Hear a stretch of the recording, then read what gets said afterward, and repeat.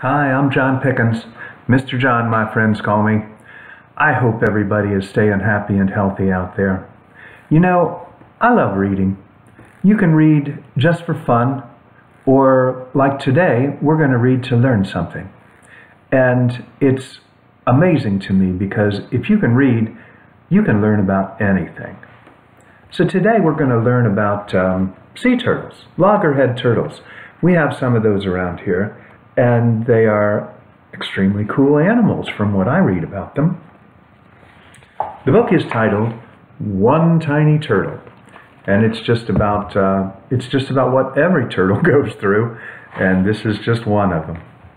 Here's kind of an in general bit of information about turtles. Sea turtles are related to tortoises and terrapins. They're all reptiles.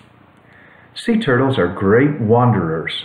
They travel thousands of miles each, each year, often very far from land, which makes them difficult to study, so scientists are only just beginning to find out about their mysterious lives. There are seven species of sea turtles. This book is about loggerhead turtles. Loggerheads live in all the seas all over the world. So we're going to learn about turtles. So kind of comprehension is what this is all about. And um, at the end, we should know more stuff. Far, far out to sea, land is only a memory.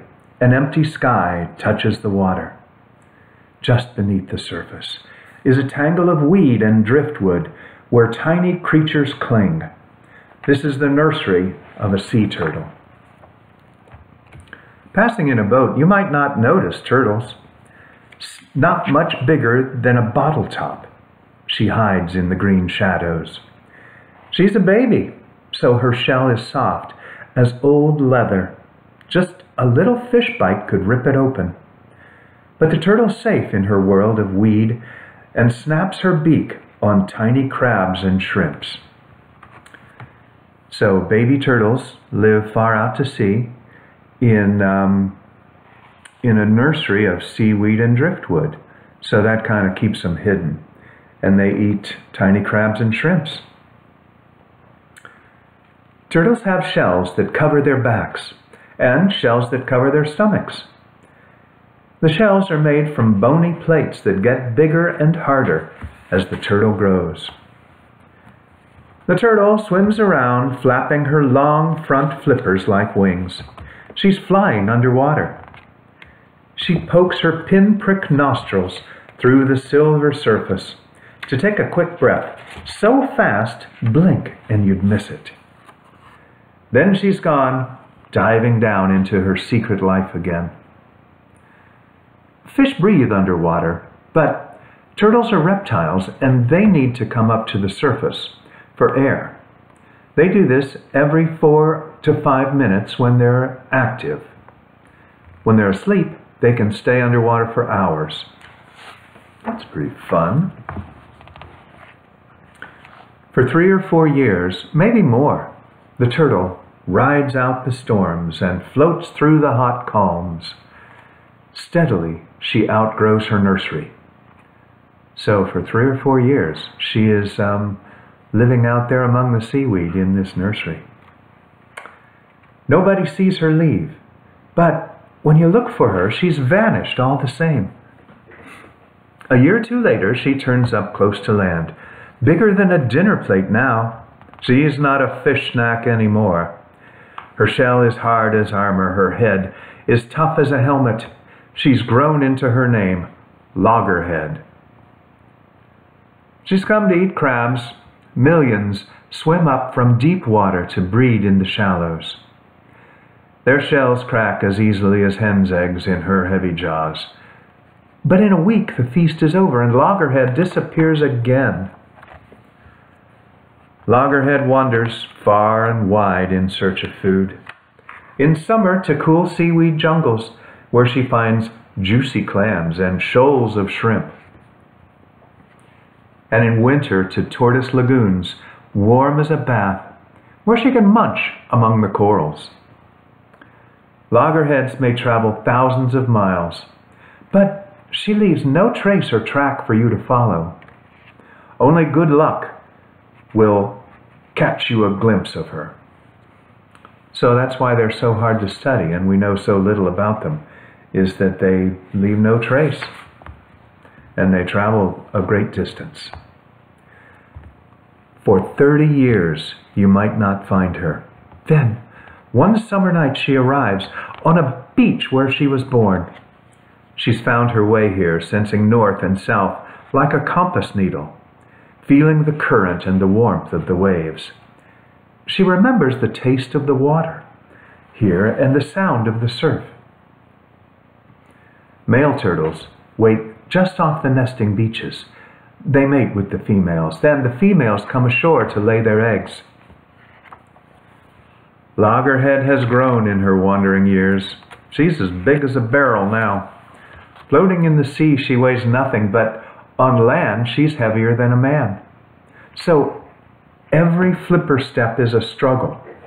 You know how with flippers, you can't walk really, so you're just pulling yourself up on the beach. So that's what this poor heavy loggerhead is doing. So every flipper step is a struggle, and her eyes stream with salty tears, which help keep them free of the sand. Coming ashore is very risky for sea turtles. They can easily overheat and die. So they only nest at night or in cool weather. Then they get back into the sea as soon as possible. Loggerhead makes her nest where the sea won't reach. So up above the tide line is where she uh, makes her nest. Scooping carefully with her hind flippers, so she's digging with her flippers, she makes a steep, deep hole. Inside that hole she lays her eggs like a hundred squidgely ping-pong balls. Afterwards she covers them with sand to hide the nest from hungry mouths. Then Loggerhead's gone again, back to her secret life in the sea. Left behind under the sand, her eggs stay deep and safe. Baby turtles grow inside those eggs. Females, female adult loggerheads, stay close to their nesting beach for several months. And in that time, they usually make at least four nests, and sometimes as many as ten. So each female loggerhead lays a lot of eggs. And before the summer's over, they wriggle from their shells. The baby loggerheads wriggle from their shells. Turtle eggs in warm sand can be ready to hatch in six weeks. If the sand's cool, they can take three weeks longer. So when these turtles just hatch, they're on land and they're very exposed to dangerous uh, people who want to eat them.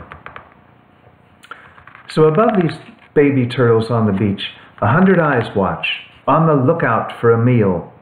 So the hatchlings wait until night. Then they burst through the sand and skitter toward the sea. The horizon, where the sea meets the sky, tells the baby turtles which way to turn to get to the water. But streetlights and buildings next to the beach can confuse them and make them go the wrong way, and that's bad.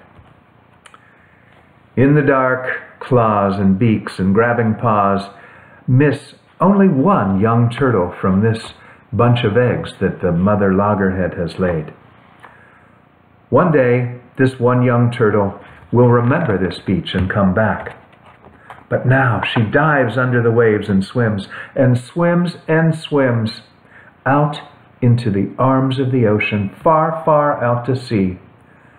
Land becomes a memory waiting to wake in the head of the little turtle.